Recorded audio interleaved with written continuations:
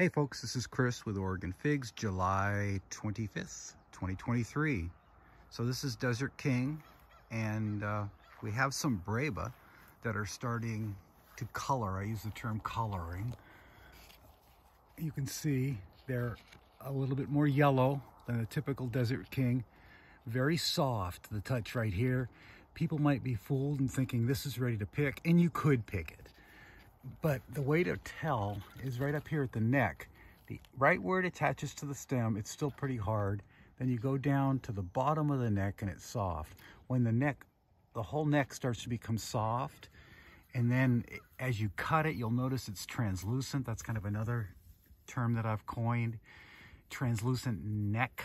That's when you really know your figs are ready to pick. So look for the translucent neck when you cut. But even if it doesn't have the translucent neck, if it's far enough along, it'll be great. Here's one that I could definitely pick today. This one, I this one here would be, it's way too firm. This one up here, very soft, getting up to the neck, even the bottom of the neck's starting to get soft.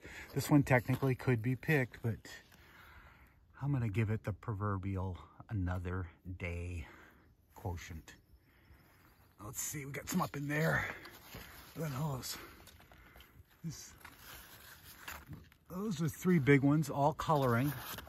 So this started two days ago here on my DK, and uh, it will put out ripe figs every several days uh, now. So you need to be paying attention.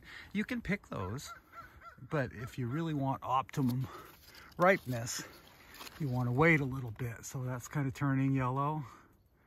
We could pick that, but I'm a pretty patient person when it comes to figs, and that usually pays off. Desert King. I think many think this is the absolute number one Breba producer for the Pacific Northwest, and at this point, to me, there's nothing close to it. Desert King. Can't wait to taste one, but I'm going to wait Patience.